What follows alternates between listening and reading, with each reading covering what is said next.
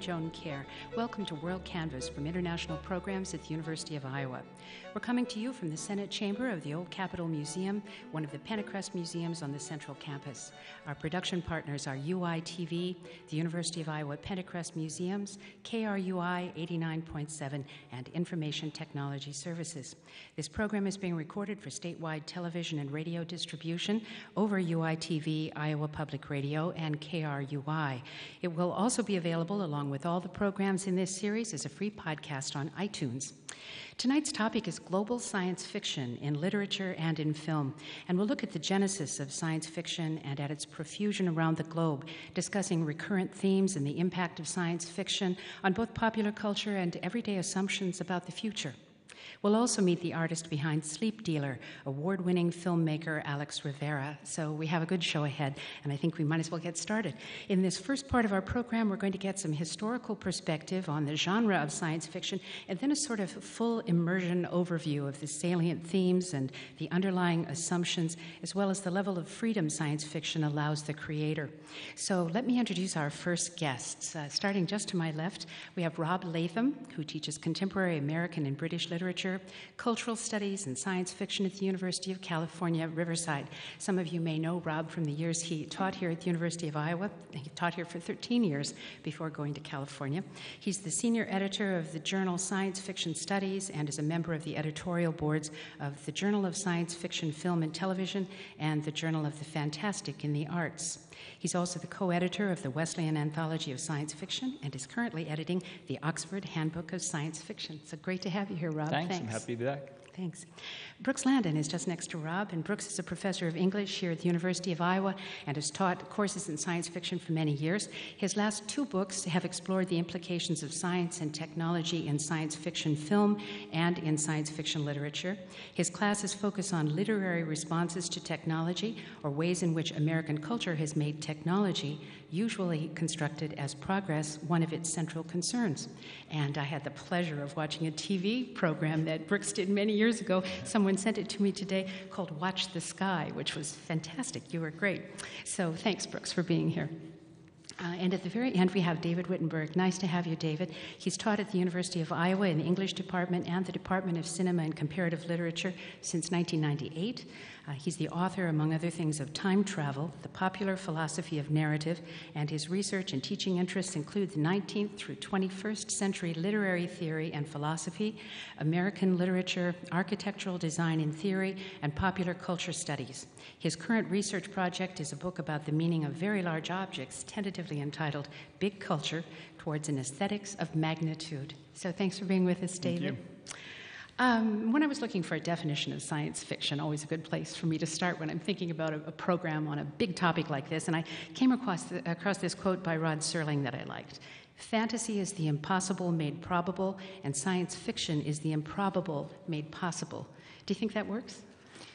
Yeah, I do. I mean, I think most critics do want to make some some want to make hard and fast, others looser distinctions between fantasy and science fiction. Um, certainly, when I teach, I teach a history of science fiction, and then I teach a separate class history of fantasy and horror fiction. Um, but in terms of their origins as genres, they're completely bound up together. Um, and some scholars use broad terms like the fantastic to encompass the whole range of genres.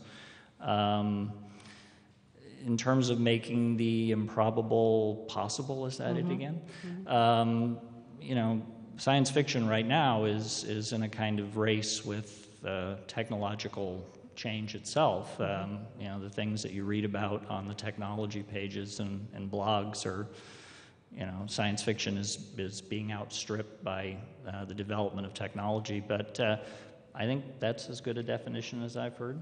I mean, scholars fight over definitions all the time. I'm, I'm reminded of um, Thomas Berger's definition of a novel as a uh, sequence of words and otherwise a lie. And when we start talking about distinctions between fantasy and science fiction, let's remember we're, we're talking about a lie to begin with. That's the fiction part. And um, within the history of science fiction, the debate has been uh, over what's the best way to, to make the lie sound acceptable. And I've been working on a piece for, for Rob's Oxford uh, edition, uh, trying to deal with the, uh, uh, the difference between extrapolation and speculation in science fiction. Extrapolation sounds a little bit more scientific, speculation a little bit more toward that fantasy realm. And the one thing that I've figured out is that I can no longer distinguish between the two.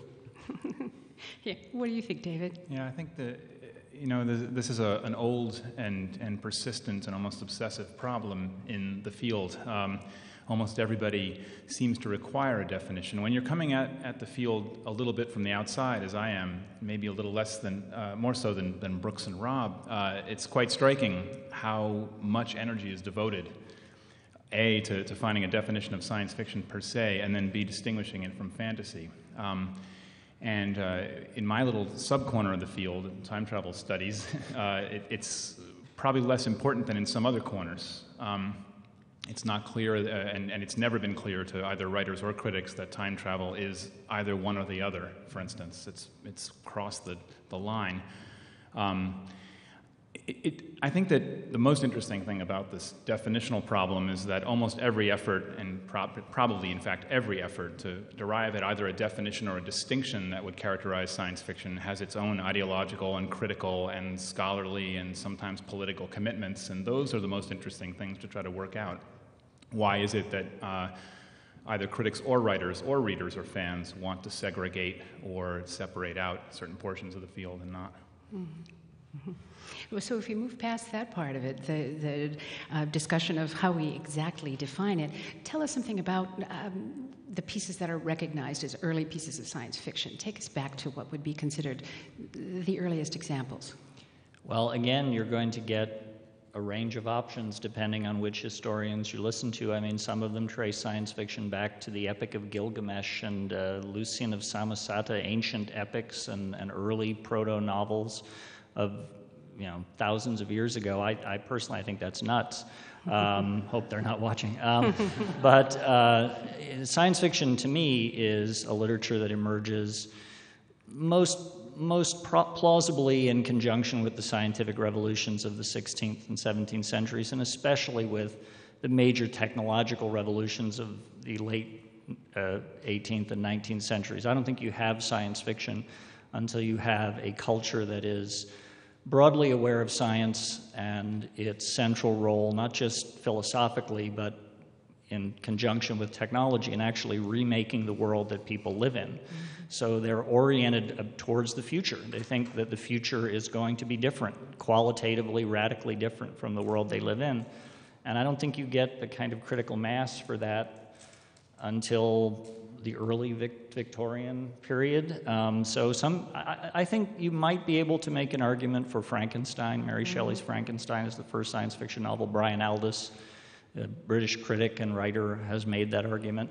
Um, I'm more likely to see Verne and then Wells as the progenitors, but I don't know if you have different and feelings. If, if you want to play it safe in this, you don't talk about history. Uh, you either talk about a materialist definition of science fiction as a publishing category. Mm. And so you start in 1926 with Gernsback's publication of the pulp magazine, uh, Amazing. Or you talk about science fiction as an epistemological phenomenon, uh, a way of thinking which frees you from history entirely. Uh, you work under the assumption that science fiction, kind of like poetry, lets you think in a way and put ideas together that other forms of literature don't let you put together. And in that sense, you don't have to worry about the historical uh, genealogy. Uh, you just get to talk about the ideas of it. Or you, you broaden it even further, and then you have um, themes immortality, um, travel to other worlds, and so on. And then that's how you get back to Gilgamesh. Right. right. Yeah. You know, you can, you can you can broaden it as far as you want, probably. And it, again, it probably depends on your priorities, either as a critic or a reader. Mm-hmm. But there's something different between, you know, Cyrano's voyages where how, how does he get to the moon and on the back of a goose or something? Mm-hmm. I've completely forgotten. Um, or something like From the Earth to the Moon, where there's some attempt, at least, I mean, a ridiculous attempt to imagine a gigantic cannon that will shoot you into space would kill you first. Um, but uh, the, the, the, the need to have or the impulse to have a sense that scientific transformation is what's driving these possibilities. I mean, in sort of retrospect, separates yeah, the way the genre looks now, it makes sense probably to, to think about science fiction arising alongside industrialization, mechanization, scientific progress of some sort or another. Yeah, right. If you, if you take uh, Dave's suggestion that you look at themes, uh, I've, I've been uh, reading and, and trying to write about a, uh, a book for Rob. Uh, Rob's managing my career at this point, it looks like. I only write things for him. Um, but it, the, the book is entitled Imagining Mars, uh, a literary history. And what the wonderful author of it, Robert Crossley, does is to start out talking about the ways in which Mars was an object of mystery and, and an object that, that spurred the imagination when the only contact that people on Earth could have with it was the naked eye and seeing this kind of pinkish object uh, uh, in the heavens, and then how that changed when telescopes were invented, and then uh, telescopes get better, and then you move to space exploration where you have flybys, and then finally you have Mars landers. And along this historical line, um, you, you see science fiction occurring. You know, it, it, it's kind of like doing archaeology, where you're dealing down, uh, dealing, uh, where you're uh, digging down through levels, and you see the way in which science fiction responded to the theme of Mars, the idea of Mars at this point, this point, this point, this point. So uh, the wonderful thing about science fiction is that it's it's always a kind of mirror and depending on, on what you put in front of the mirror, whether it's themes or whether it's history or whether it's material culture, uh, you, you, you, you learn a lot from looking into the mirror. And, and, since Dave has given, I mean, since Brooks has given me two plugs for my forthcoming book, I want to give Dave a plug for the book you mentioned, Time Travel, uh, which I read in manuscript. And it's a very, it's a, it's a version of what you're saying Crossley does, uh, you know, for how Mars appears in science fiction. Mm-hmm. I mean, it's a study of the emergence of the time travel subgenre, even before there was what you could call a, a formal category of science fiction yeah. in relation to the evolution and devolution of utopian narratives in the 19th century. So I think that there is a move in uh, genre history to try and trace more, instead of having grandiose definitions of the origins of the genre as a whole, is to trace one thread uh, which is easier to trace mm-hmm. historically. Mm-hmm. So, and there's an argument to be made that you don't have a genre or anything for that matter without having a name for it. And the name science fiction is a relatively late invention, the, the late 30s, 20s, yeah. 30s. Mm-hmm. Gernsback uh, in the 20s was calling it scientific fiction and other awkward yeah. Thank goodness stabs that at a name. And uh, you know, it, it, doesn't really come into its own as, a, as a, a distinct body of work until quite a bit after most people have already identified its origin. Mm-hmm. Well, so then there's, there's the kind of academic thinking that you're engaging in here, but science fiction is also all about popular culture, right? Mm-hmm. I mean, it, it, it is everywhere in our lives these days. Yeah, and, what, what, yeah. what you see underneath the, uh, the, the, very thin disguise of academia here, you see three fanboys. I mean, you know, that, is, that is the wonderful thing. Uh, a lot of us I, I, know when I started reading science fiction, I, I think I, I, started reading Jules Verne. Um, and I, I, think I was still in elementary school, and I certainly never thought, ah, I can make a career out of thinking about this stuff. um, but, uh, but, but it is, it is popular culture uh, in, in that it was, I'll put it that way, it was popular culture. Um, just in the span of, of my academic career, we've seen so many distinctions blurred the distinction between culture and pop culture, or high culture and low culture.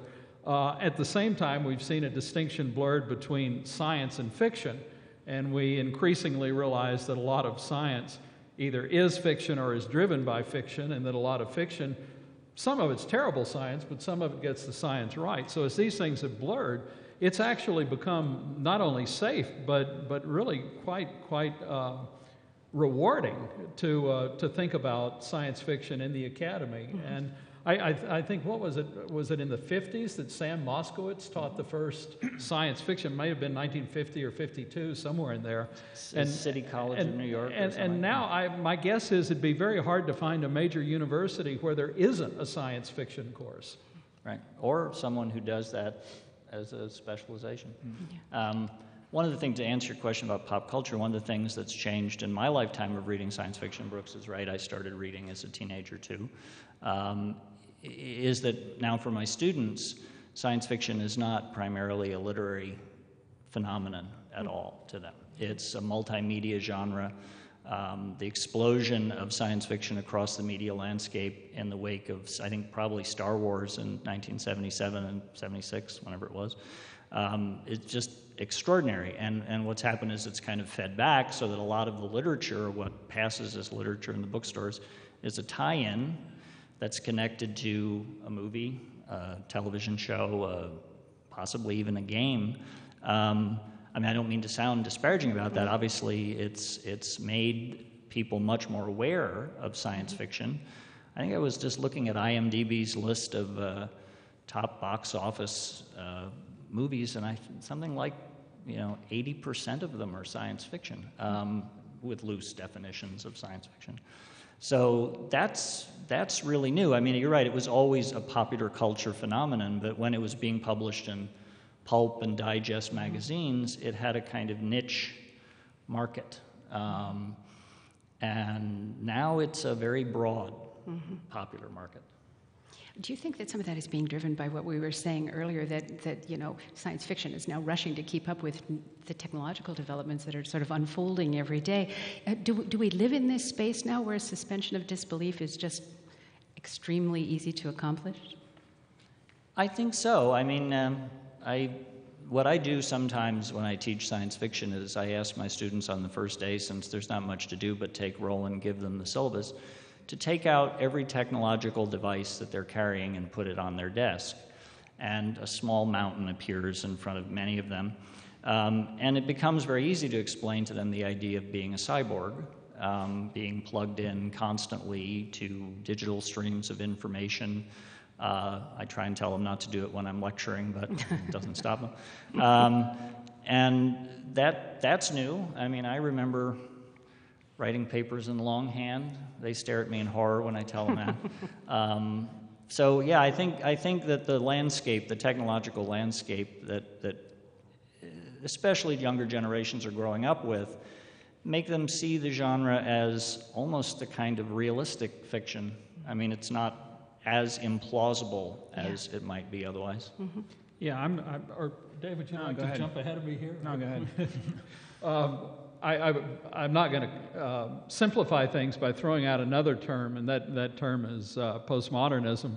I, am also I, I teach uh, a course in postmodern fiction, and there are a zillion uh, definitions of postmodernism, uh, some of them running uh, for hundreds and hundreds of pages. But my definition of postmodernism is that it's the culture of the easy edit, and this ties directly into what Rob was talking about. All of us live in a world that is so completely permeated by technological accomplishment, or if not accomplishment, the near certainty that tech is going to have an answer or science is going to have an answer. If version 1.0 doesn't fix it, version 2.0 will and that you can edit the body, you can edit time. We're not mm-hmm. quite to time travel, but you know, uh, my, my second favorite definition of, uh, uh, not a definition, but description of postmodernism came from a Dennis the Menace cartoon where Dennis is looking up at his mother and he says, Mommy, why can't we fast forward the microwave? There are a couple of dead technologies already in that Mm-hmm. But, you know, I, I lived in a, in a day when if you wanted to bake a potato, you were going to sit for an hour in front of an oven at 400 degrees. And with a microwave, you know, suddenly we're editing time. We can get that potato baked pretty quick. and so, you know, we, we live in an environment, a technosphere, that is so completely saturated with our thinking about technology or our acceptance of technology in an unthinking way that science fiction, I, I think, quite, quite uh, probably has become the new realism. It, it isn't out there anymore. Uh, how can you have realism that isn't science fictional? You know, one, of the, one, of the, old questions that people who are also interested in defining science fiction or distinguishing it from fantasy used to ask is whether science fiction was predicting science or science was predicting science fiction and so on. And, and um, it strikes me that when we're talking about popular culture and, and for instance, film or, or TV culture, that that question is, is interestingly obsolete. And that uh, the, one of the reasons why there's so many science fiction films and TV shows is because it, it's the case that science fiction plots are just especially well suited to the sort of very expensive and now increasingly cheaper special effects mechanisms and, and production mechanisms that, that we use to make films and TV. Um, in terms of how we make images and how we view things, and of course, this, this isn't just on TV and, and, and in the theater anymore, obviously, it's on our devices as well. Uh, it, it's, it's not just that these are science fictional in that old sense that maybe science fiction predicted them or something. It's that the same sorts of problems and, and technologies and pictures and ways of seeing or ways of talking are in, inherent or endemic to these things as they are in, in science fiction stories. They, it's, the, it's the same story that's being told by them. Mm-hmm. Well, uh, since we're uh, speaking with you for a second here, David, tell us more about this whole tra- time travel research you've been doing, and, and yeah. Um, tell us. you know, in, in, going back to before I was working on science, my, my work has always been interested in this. This is related to this question of popular culture, so I'll try to make a segue. uh, my work has always been um, interested in, in the ways in which literature or art and criticism or theory do the same things or overlap with one another or anticipate one another. And, and I've been interested from the start in, in um, questioning or possibly getting rid of any kinds of boundaries between what, what both teachers and students called the primary text and the secondary text. So, science fiction, and especially time travel, is an especially interesting medium to think about questions like that.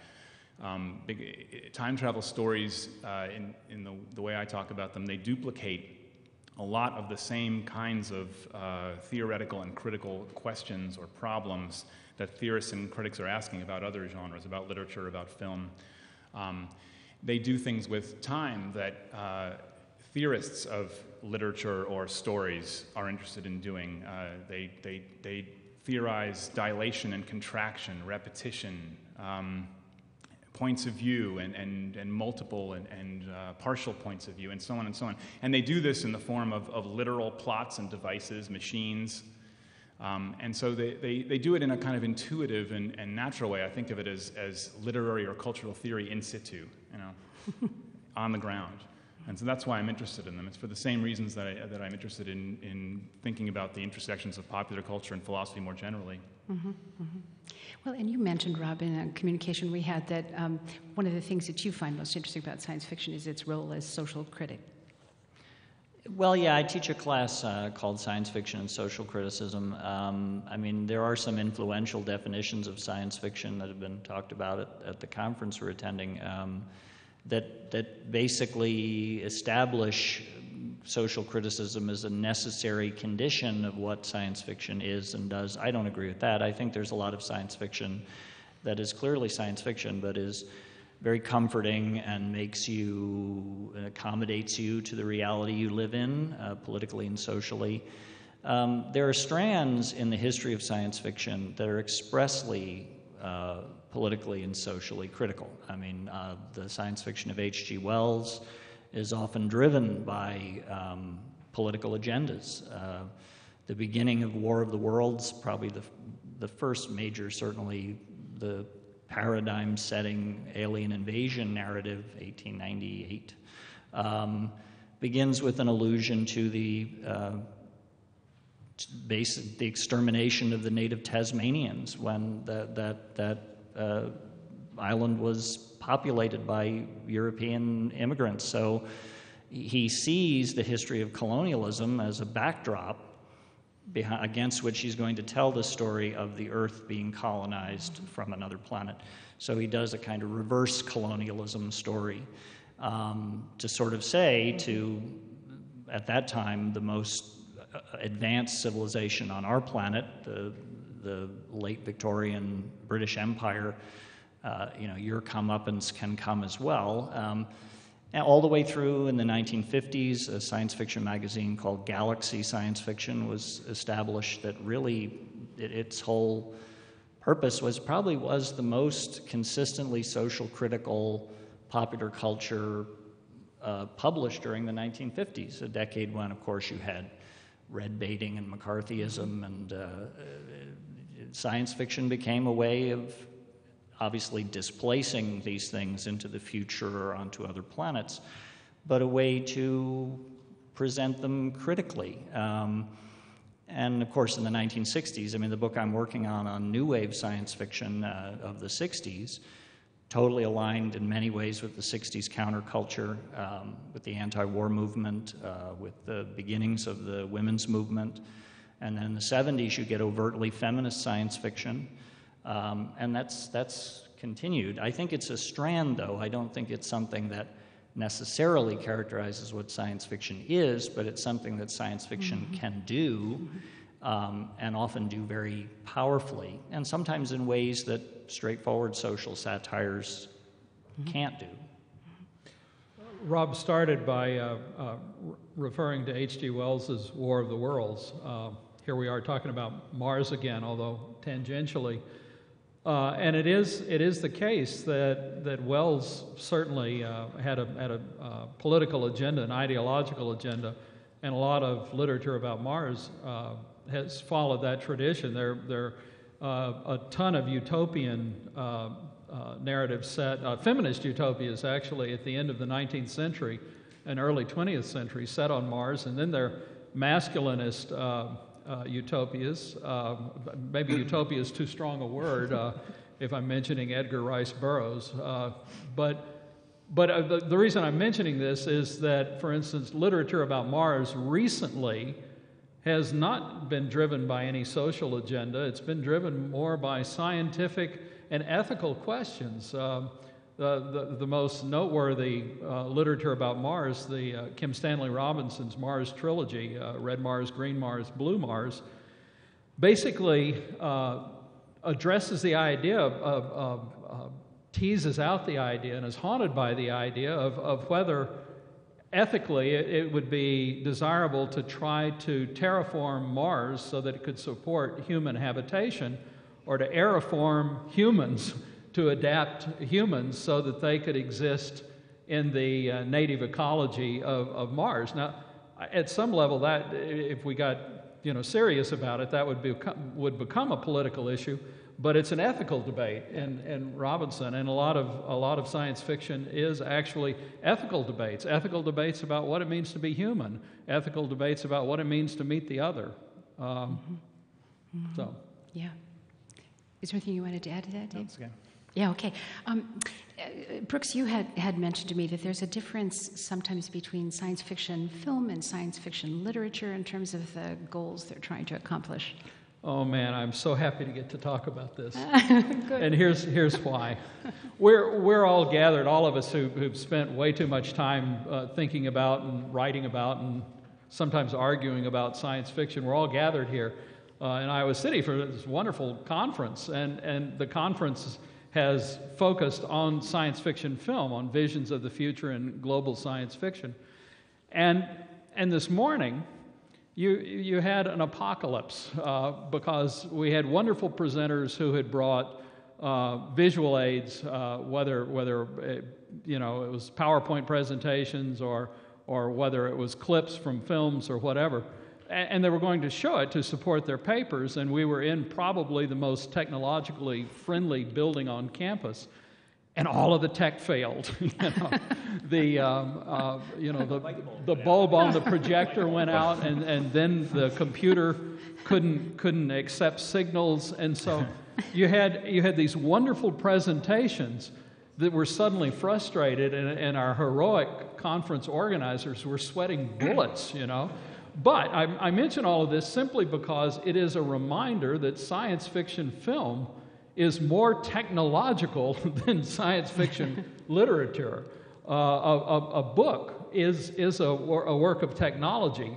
Uh, in, in fact, my, uh, my favorite definition of a book comes from the science fiction writer uh, Bruce Sterling, who, who pointed out, I, I, I think with tongue in cheek, that a book is a very stable information platform. Well, film, TV, uh, video games, not so stable all the time. And so what happens is that in science fiction film, it is, it is frequently about technology in the way that science fiction literature is, but film also is more of a technology, more of an active and complicated technology. And so when you're looking at a film, you're thinking, oh my God, how did they do that? You know, what were the special effects? Um, uh, you're looking at sets, you're looking at things that make you uh, engage with a kind of material aspect of science fiction uh, in an imaginative way quite different from that when you have to imagine everything from just looking at words. And so it isn't surprising that I think science fiction literature would have different agendas, perhaps, than science fiction film. And we, we can talk about the literary lineage of science fiction literature, but if we're talking about science fiction and film, the literary lineage of science fiction is not nearly as important as the filmic history. You know, it's, it's what happened in other films. Uh, and, and, and you have wonderful examples of, of that when you have uh, a film director like Robert Wise, who did uh, The Day the Earth Stood Still, Andromeda Strain. And uh, didn't he do Lassie Come Home at one time? And did Sound of Music also. But what I'm saying is, this was not a science fiction guy. This was a film guy, and so very different, different epistemologies at times. Mm-hmm. And you know, Brooks deserves an enormous amount of credit for being a critic who has restored within the genre of science fiction studies the status of science fiction film studies as something that deserves to be seen as valuable and autonomous and not just some version of science fiction literature. Because a lot of the criticism, uh, well, I'll use that term advisedly, a lot of the uh, you know, writings about science fiction film. I think of Frederik Pohl's book, a science fiction writer writing about science fiction film. Uh, their claim is basically it's an inferior uh, version of science fiction literature. Um, uh, certainly, any adaptation uh, of a science fiction novel uh, is going to be impoverished in terms of the engagement with the really large scale intellectual speculation that a literary text can engage with. And Brooks's book, The Aesthetics of Ambivalence, 91? Uh, 92, I think. 92? Yeah. okay, I got it close. A long time uh, ago. no, not that long. Um, yeah, a long time ago. Uh, not that long, but um, before my current freshmen were born. That's, I guess that's a long time ago. Um, but a book that had a major impact when I read it because I wanted to work on science fiction film as well as science fiction literature, and I didn't want to see science fiction film as kind of a, a poor step cousin. Of what the literature could do because it does things in its own right. It isn't, it isn't, it's a different medium and it, it the possibilities are different in it. The same story is going to look very different. Um, take, for example, one of my favorite science fiction novels, uh, Philip Dick's Do Androids Dream of Electric Sheep, was turned into one of my favorite science fiction films, Blade Runner. They don't look a lot like each other at all. Um, what survived from Philip Dick's novel in that film, uh, you know, there, there are some strands of plot, uh, some character names, um, whole subplots are gone, um, and yet I don't think anyone who works on science fiction film wouldn't acknowledge that as a major, serious classic of the genre. And so there's something wrong with a form of criticism that would just set up a definition that automatically made science fiction film or any other media adaptation inferior. Mm-hmm. You agree? point out that, that uh, the term, the very term film, is already bordering on obsolete. um, it's like a little like calling literature belles lettres or something at this point. Um, the, the way in which um, films are produced and also the types of images they show and also um, the types of media we receive them on have um, long ago outstripped the term film. And that's also part of the story or the, or the, the, the set of themes that science fiction is interested in. Um, so that, uh, I mean, uh, uh, think about a film like Sleep Dealer, which we'll, we'll be talking about tomorrow morning, and then seeing um, that that film is already about the relationship between some of the same political and social topics we've been talking about and the technology of producing imagery. Um, and if science fiction is about anything at this point, it's about that, that whole set of intersections. Um, it, this is what I meant before, I guess, in part by saying that, that uh, in some ways, it's much more interesting to see how the, the literature or the, the, the art itself theorizes these problems than to think about how critics do it. Mm-hmm. Or sometimes it's interesting to see how the literature doesn't theorize these problems. uh, Rob was talking about uh, science fiction writers who had a notoriously low opinion of science fiction film. And sometimes in the next breath, uh, that same science fiction writer would say, and why haven't they bought my, uh, my novel to make a movie out of it? You know, like that Woody Allen joke about the food being terrible and the portions are so small. Uh, but but I, I, I mention that because I, I don't think there's nearly that level of, of resistance anymore to, to film because obviously film has become a kind of driving engine of science fiction and as Dave was pointing out, uh, digital media is, is even more so driving science fiction now. Video games are probably having a much greater impact than film and TV uh, combined. And science fiction on the web is starting, you know, people are f- trying to figure out what you can do on the web with science fiction. And once again, uh, the irony that has bothered me for some time is that science fiction writers have been not very interested in what was happening with the web. That's changing also, but, but you didn't have a lot of science fiction writers jumping into this new digital world, the electronic world of fiction. They're a little slow, like the rest of us. They, they kind of, it's great to imagine change, but it's kind of tough to do it yourself, you know? yeah. Well, as you mentioned Blade Runner, and we've talked about some other films and, and examples of literature. Give me an idea what your, um, what, what are some films we should all watch? What are some of the books that, if we're interested in this topic, we really ought to read because they're just great? Oh boy. or the ones that have been really important. Well, first of all, there are too many to keep up with. Sure. But and and and I, I gave up. I, I threw up my hands. I I wrote a I wrote a book in which in the index when you looked at the films that I referred to, you could find such classics as Hell Comes to Frogtown, you know. And, and I was kind of desperate because it was hard to find science fiction films illustrating particular things. And, and I'll just give the curmudgeon answer here.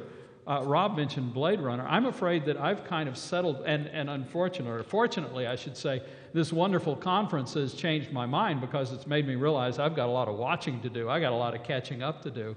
but I kind of reached the point uh, where it seemed to me that after 2001 and Blade Runner, and maybe for historical reasons, if you went back to things to come, there just wasn't much to say about science fiction film. Didn't mean I didn't like watching it and everything, but, but if I was looking for films that really changed my way of thinking about the world, there weren't that many. And I, there are now, I just haven't seen them. I'll leave it to Dave. Favorites? Go ahead. uh, well, I mean, I'll just say because I agree with Brooks. There's, there's, there are too many to even begin to list, and there are, you know, useful lists that you can access. Um, the, the films that I'm working on right now, or at least that I'm looking at again in conjunction with the book on 60s and early 70s to mid 70s science fiction that I'm writing, because I want it to be a book that encompasses a range of media, not just print science fiction, uh, would, would, prob- would, would range from uh, 2001, which was a major cultural event. I mean, probably the first science fiction film that was a major cultural event. Um, and of course, a film that was picked up uh, by the counterculture and became a kind of counterculture classic. And there's a lot of writing about um, science fiction film, that in particular, in the fan publications, which I have access to in, in the library at UC Riverside. Um, and I'm fascinated to read it to see the way the fans were seeing uh, the engagement with a, a, certain kind of sense of wonder that they had expected uh, mostly to get from the literature to be now available to them in major, big budget, uh, highly celebrated Academy Award nominated films. Um, all the way through more kind of cult films of the mid 70s, like The Man Who Fell to Earth, which is probably my favorite science fiction film. Um, a, a, very, very weird film, um, a, almost impossible to describe. Uh, David Bowie is an alien visitor, which goes without saying. Um, and um, it, it, it, has a kind of odd cons- political conspiracy subplot behind it. Uh, it's brilliantly edited. Um, there's one scene that, that, that has become kind of iconic for critics who write about science fiction film, where he is sitting in front of an array of screens. Do you remember that scene? So a whole battery of you know, cathode ray tubes. I know just like old televisions, obviously, um, but all of them uh, with different image streams pouring through them. And the implication is that he has some kind of sensorium that's capable of, of assimilating and integrating all of the information that he's being bombarded with.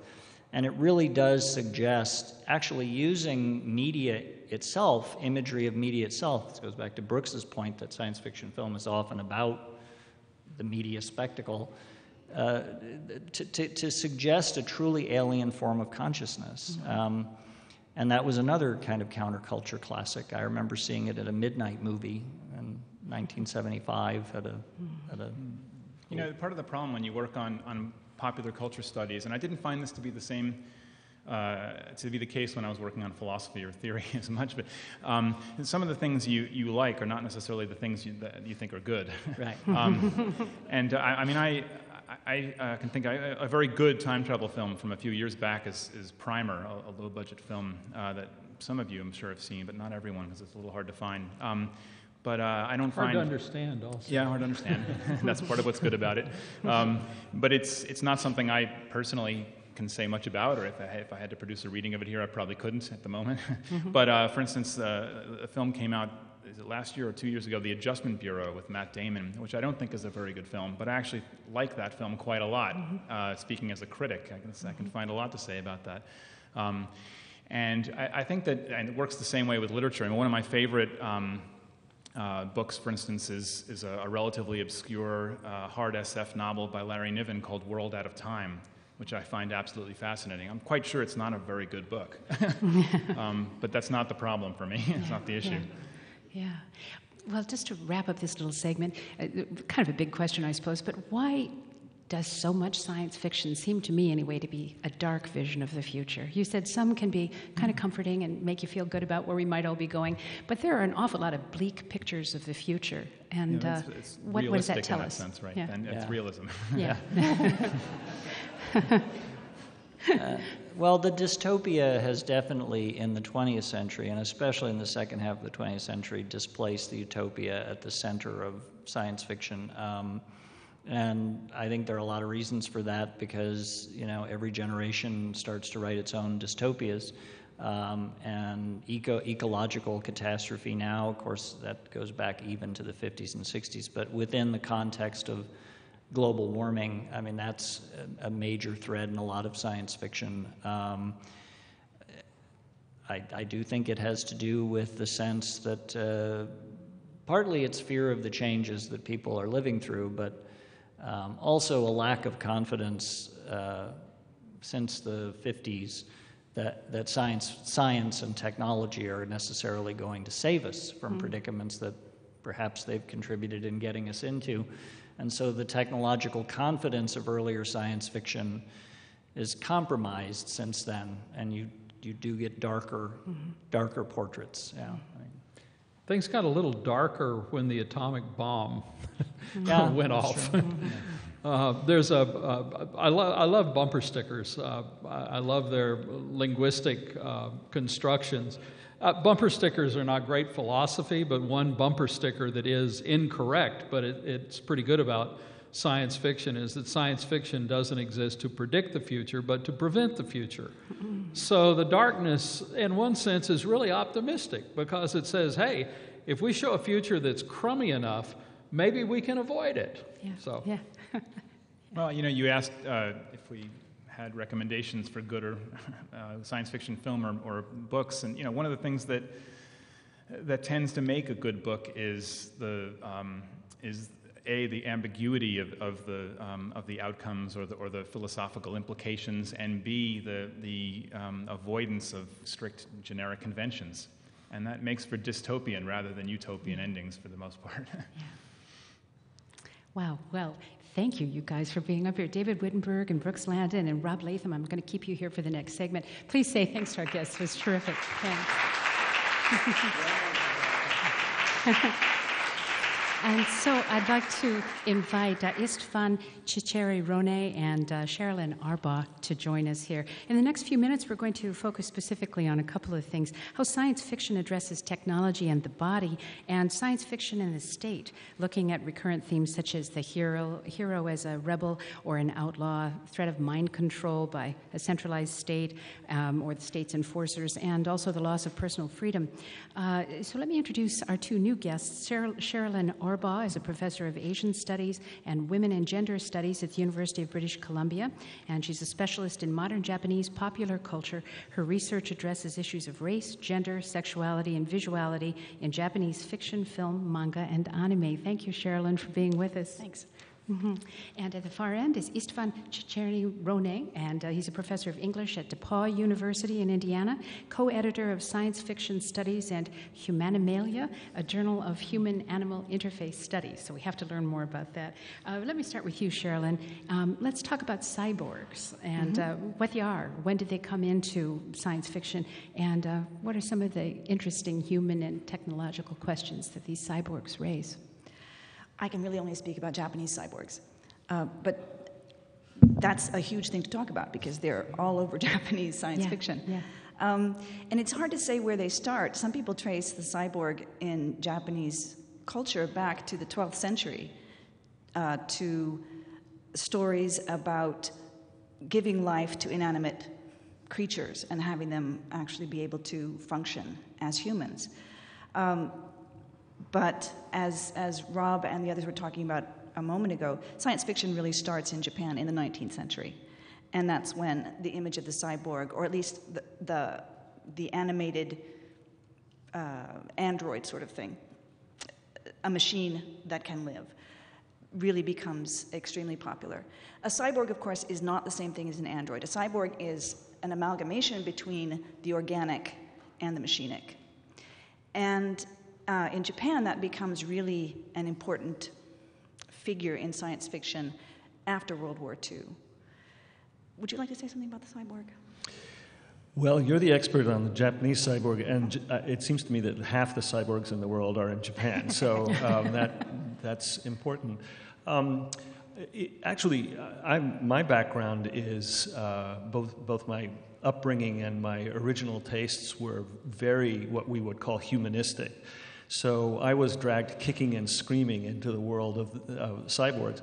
But really, resistance is futile. It's uh, absolutely um, a dominant um, uh, theme in contemporary life. Um, uh, the the story that Brooks was telling about, or that Rob was telling about putting the um, all the devices uh, on the table and saying, well, this is where cyborgs start.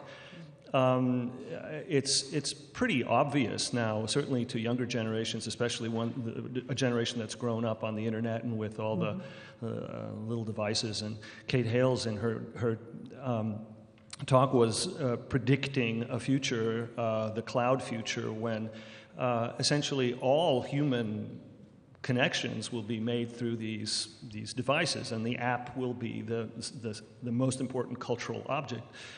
Um, so uh, the, the cyborg is, is kind of an image of this technological transformation of um, human culture.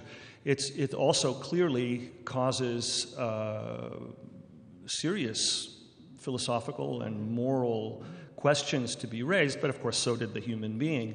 Uh, one of the most important ones is what's the relationship between your, one's sense of subjective identity and, uh, and what's, what's one's social determination. And technology would be really, really strong intervention by society into uh, personal identity. Um, uh, and, and even, well, some people are very, very pro um, cyborg and anti innerness. Um, but most people, even that when they completely acknowledge these transformations, uh, and love the literature of cyborgs. They, they also love the, the, the anxiety and the, and the tension and the suspense that comes with um, dealing with how much, how much of this is dangerous and how much of this is something I don't want. Mm-hmm. Mm-hmm. Yeah, and there has been uh, recently. There have been television programs where you know, obviously there's been some sort of alien intrusion into a population, but you don't know you know, you think you're talking to somebody who's just like you, but then you find out later on that they're not. This is this is a very popular theme these days. Uh, in, is this what you're discovering too? Since the '60s, has this become more and more part, uh, part oh, of science it, fiction? you know, it's been around at least since in, in science fiction film, at least since the '50s, with a film like Invasion of the Body Snatchers, and probably, probably the best science fiction film of the '50s. Um, there, it's aliens deposit pods, seed pods on Earth that can perfectly imitate human beings um, with the goal of eventually replacing all human beings with these pod people. And what's interesting is that, that you can trace the influence, kind of cultural influence of science fiction, is obviously some kind of commentary on conformity and whether you saw it as a kind of you know, anxiety about communism or an anxiety about the conformity of American suburbia. You have critics reading it either way um, the term pod people starts to appear in editorials and op-ed pages, you know, within a year or two after that movie. So um, I, I, think if you said pod person, most people would kind of know what you meant. Um, in the same way that the word robot uh, spins out of, uh, you know, a, a, Czech play from 1920. Um, by the middle of the 1920s, that play had been translated into most European languages and the term was a quite popular term. Um, so that a movie like uh, uh, Metropolis comes out with a robot in it, and some weird kind of cyborgization happens in it the transfer of a woman's identity, consciousness, spirit, whatever exactly, into the machine. Um, and so these images go back. Uh, you know, fairly far. Um, the ambiguity is cl- fairly clear that the Maria that's produced by the evil scientist Rotwang, which is a great name for an evil scientist, um, Rotwang, that's not a good person, is, uh, and he appears, you know, in front of a pentagram, and he has a kind of, you know, mechanical Doctor Strangelove hand, and he makes these extravagant gestures, and you know he's up to no good.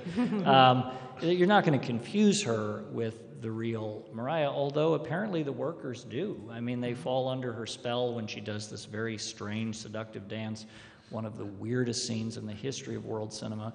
and um, I, I think that theme of the ambiguity of the artificial mm-hmm. and its possible substitutability for the human, I might even go back to the, you know, the invention of fairly lifelike automatons mm-hmm. in the 18th century, you know, the Vaucanson's duck yep. that could eat and excrete, uh, the chess playing automaton. Um, but I, I, do think that the, the, the cyborgization that Istvan's referring to, that we actually experience and live through, has given this a wider currency and intensity for people because it's not hard, as I mm-hmm. said in the previous segment, to convince my students that they are cyborgs. Actually, I, I, learned this from Sharalyn, actually, that, that um, I, I, when I first heard the term cyborg, I would use it and think of it very much in terms of pod people or, you know, that's that robot, right? But now it's perfectly, somebody may well be using it as a positive term. Um, there was a, a, wonderful paper on a wonderful new South Korean movie called I'm a Cyborg and That's Okay. Um, and it was actually Sharalyn describing the Japanese attitude um, to it that made me realize that this is a term that is radically ambiguous. Huh. Well, and uh, forgive me if this is just too simplistic and um, just kind of a dumb question, but you know, when we're living in an age where an entire face transplant can happen, when you know hearts are transplanted on a daily basis, um, new limbs.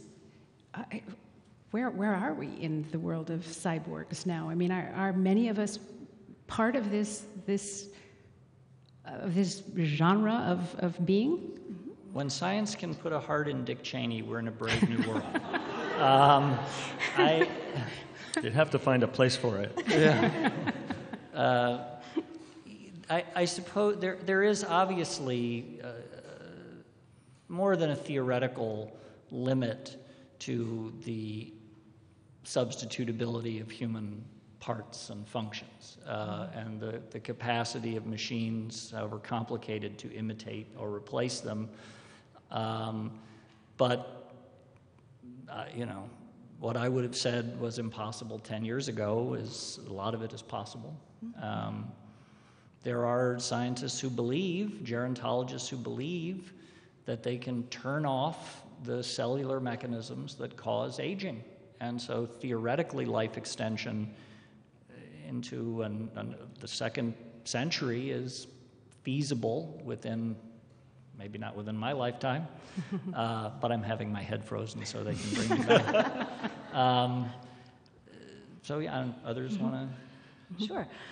Um, Katherine Hayles has argued that already we are all cyborgs, as has Donna Haraway, and I would certainly agree. It, it depends, of course, on how you define the cyborg. Uh, but one definition is a being that has been reprogrammed to survive in the environment that it needs to be in. This is how the word cyborg came about in the right. first place in the 1960s uh, through NASA scientists talking about how human beings could be changed, could be amalgamated with various kinds of technology to live in outer space without needing spacesuits and that kind of thing. So, by that definition, uh, anyone who's been immunized has been reprogrammed to resist disease in the environment that we live in. So, in, even in that most simple sense, we're all cyborgs. But as you said, people have heart transplants. My mother has had multiple surgeries and has all sorts of technology in her body. She's a walking cyborg. Um, but we all are. Many of the science fiction uh, films or, or pieces of literature that deal with the cyborg are trying to look at something that's much more kind of graphically physical and they're interested in the interface. Where does the machine stop and the meat body start? Um, and how do those things work together? And I think of the scene in um, the, the final Star Wars, where Anakin Skywalker has been horribly burned, and he's being put into his kind of mechanical suit that's going to keep him alive for the rest of his life, and he sees the helmet coming down onto his head, and we get his point of view, and we see the helmet coming down too. And this horrible vision of being forever dependent on technology to live. It, it's, a, it's a terrible thing. I don't want to get too much into Japan right away, but a lot of Japanese cyborg depictions are much more gentle about that interface and about how, what a beneficial or, or positive experience mm-hmm. it can be.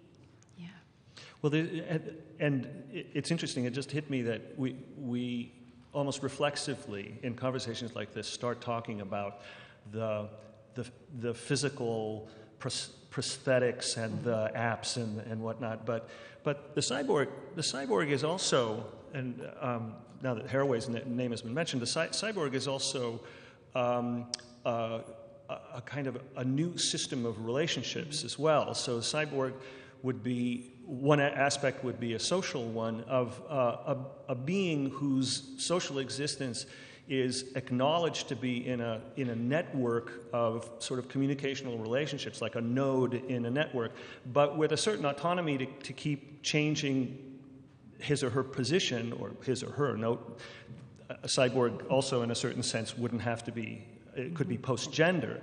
So, um, so it's, it, it, seems to me, it made more sense to me to, to understand the cyborg as a new set of social relationships, a new global set of social relationships, instead of focusing on the, on the transformations of the body. A person can have a heart transplant, can, can, get a, can get a life extension iron mask or something, and still feel um, sort of connected to very old traditions and still kind of live the subjective life of an, of an old school human being. But, uh, but socially, a cyborg would be uh, would reject all that, would consider those things not that important. What's important is this constant movement and realignment in a network of communicational relationships. Mm-hmm. The internet, right, right, right. for instance. Well, you know, this sort of made me think of a film you've already mentioned, 2001, and that moment where, where Hal doesn't follow commands anymore. Hal is telling Dave, No, Dave, I'm sorry, I can't do that, which sort of sounds like Siri on the new iPhones to me. I think of that when a friend of mine is trying to make a call on the iPhone, and um, Siri says, I'm sorry, I can't do that for you. I think, oh my gosh, you know, We, we are living, uh, obviously, she's responding to something that she simply can't do. I understand what's happening there. But it does make you think that there is something operating in there that we don't control, that we can't control. Well, you know, that the, someone, uh, a, colleague of ours, uh, Lisa Yaszek, pointed this out to me. Um, and I, you know, I, I just recently got uh, the newer version of the iPhone with Siri. If you say to Siri, "Open the pod bay doors," Hal, she will say, Oh no, not that again. Sometimes she says, We all know what happened to Hal now, don't we? So some, some, some, some tech person with a sense of humor uh, programmed that device. Um, well, that, that's a good point because the theme of um, resistant technology, uh, it appears in, in, in some cyborg films, including some Japanese cyborg films like Tetsuo the Iron Man, mm-hmm. where the body is invaded by really more kind of industrial technology than, than high tech, you know, cybernetic technology. And, and, and, and there's this war that goes on between the machine parts and the meat parts, as you mm-hmm. put it. Um, I, I, think, I think the, the possibility of being in control of technology becomes particularly pointed when the technology is a large part of your self definition. What does that even mean anymore? Yeah, and, and this, the, the, the cy- cyborg is also, I think, uh, a popular concept because of the way the word is constructed. Mm because it's a, it's a word that violates a, a boundary uh, that once was a very sacred boundary. And, um, and it's, it, actually, in many formulations, it doesn't have to be technological. It, you, you, could, you could be a cyborg entirely socially and not, not be conscious of the technology. But most of the time, it is uh, associated with it. And so we see um, it kind of as an emblem and a cause for the breakdown of an awful lot of boundaries that were once considered really secure. And, and there's a, a sense of anxiety um, that's actually quite creative, quite, quite inspiring, and anxiety, um, if that makes sense, an inspiring anxiety. Uh, about dealing with, with boundaries that still exist kind of spectrally. They're there. We, have, we talk about them, they're in our words. Um, but we don't know where they, where they actually demarcate anymore. And there's, of course, a sense of tremendous liberation and elation that, that these, these boundaries, these things that kept us from, from doing things, mm-hmm. from wanting things, from saying things, are now, have, are now coming down. Um, and that, then that causes anxiety, uh, and then that causes elation. Mm-hmm, mm-hmm. Well, um, in these next few minutes, could we just spend a second talking about sort of um, science fiction visions of the state, state domination, um, um, you know, individuals no longer having even the level of freedom many of us feel we have today, um, state control, mind control, all of these kinds of uh, sort of political representations in various science fiction um, films or literature. Can you speak to that at all?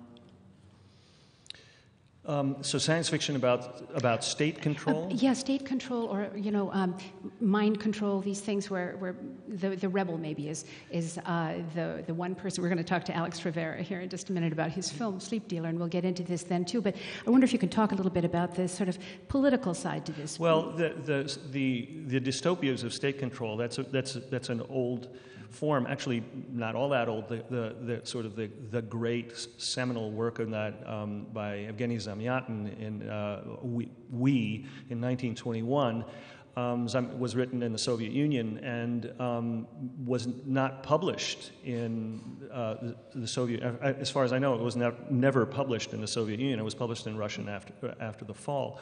I'm, I'm, I'm not exactly sure about that, but it was very very late, and Zamyatin was long dead. Um, and it, it uh, ins- is said to have inspired um, Brave New World by uh, Aldous Huxley uh, and 1984 by Orwell. And there's, there's that tradition. Clockwork Orange is a much more um, ambiguous version, but there too, there's a kind of affirmation that it's better to be uh, a violent thug and free than to be uh-huh. administered by, by the state. But um, it's the reason that I hesitated is because um, I was trying to think of counterexamples. So, examples of the dystopia of the free market. There is one absolutely phenomenally wonderful work called The Space Merchants um, that tells of a future that is uncannily like our present. Um, in, in, which essentially um, advertising corporations have taken over the world. Um, and, but uh, for, I think, complex reasons that I haven't thought enough about, um, those kinds of dystopias are relatively rare. I think we're going to see more and more of them. Mm-hmm, mm-hmm.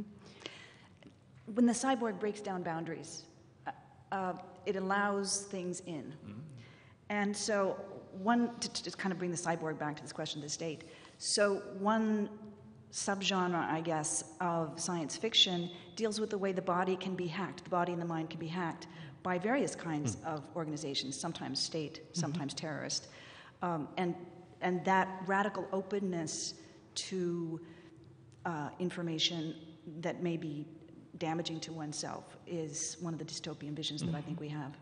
I mean, the film The Matrix, uh, you know, is the kind of connects that all, both of these points together. Um, I don't think it's a very good film, but it, it certainly is an emblematic film of the popularization of a certain idea of the complete in, in, invasibility of the human body, sensorium, um, the, the, the, sense that everything we experience could be an administered illusion um, just because we're so plugged in, that our reality can be hacked. Mm-hmm. Um, and it's easy to, to say, you know, the Matrix is now just a kind of shorthand for my students. Well, some of them have never even seen it, but because um, I guess it is, what, 10 years old? Um, it has become a shorthand for what they see as uh, an image of. Is there is it a state that's doing this? It's not, I'm not. I'm seeing the trilogy, so I'm not Alien. totally clear. Aliens. Aliens are doing it. That's right. Oh yes, the right. Of course. yeah, yeah. Well, you, um, uh, the, the Matrix is, is a good example in science fiction. Earlier, we were talking about the kind of, uh, we're getting at a point where sometimes it's hard to whether we should consider something science fiction or not. Or everyone will agree it's not science fiction, but why am I, why do I feel like I'm watching a, a science fiction? Speaking to this point, uh, the TV show 24 was, nobody ever talked about that as being uh, science fiction. But after a while, and I watched it religiously, after a while I got the feeling that it was actually being narrated by all those communication devices and surveillance devices. So if we all we had done was switch 24 around so that instead of um, all that all those surveillance devices and ways of infrared looking into buildings and all that technology, which we don't necessarily have George Bush thought we had it, but, um, but we will have them, it's, it's pretty sure. If it had been flipped around, and instead of the good guys having them, but the bad guys had had, that would have been science fiction. Yeah. And, and, and that raises the interesting issue of the politics of it. It could have been exactly the same story. In fact, it could have been just as realistic, just as realistic. But um, at that point, the, uh, the, sort of the culture would have bristled and said, "Oh, that's too scary to be acceptable.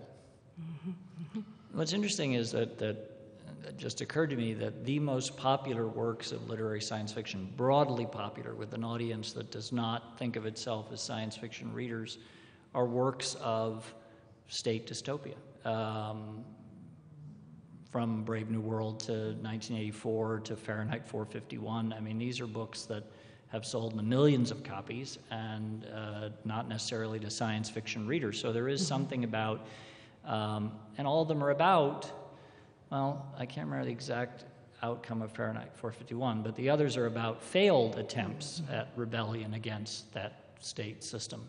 Uh, the kind of weird anti hero, savage figure in, uh, in Brave New World hangs himself at the end. Uh, and of course, we know what happens to poor Winston Smith in uh, you know, basically kind of radically reprogrammed. Um, and it's odd that that has been the most resonant, popular image of science, literary science fiction for people who aren't science fiction. Well, I'm readers. sure a lot of it had to do with the the polarization, political polarization, global, um, so that the West was, um, for very complex reasons, essentially in a demonizing relationship with communism, and communism was the thing that um, represented social evil altogether. Um, uh, it's interesting to see how, how science fiction in the Soviet Union, for instance, uh, dealt with these issues. Um, in some cases, um, it was semi semi dissident literature. It was done, done very obliquely, but the same sorts of critiques of state, state power um, were you know, made into, into mainly literary fiction. But you would also get sometimes quite effective um, sa- satires uh, and dystopias about uh, Western societies where the entire population is drugged out on technologies and, and drugs. Yeah, yeah. What a strange idea. Wow. Well, thank you for joining us for this segment. Uh, Rob Latham, of course, and Sharalyn Orbaugh, you'll be with us a little bit later. And you too, Istvan uh, Chicherny Roneg. So thank you so much for this. Thanks.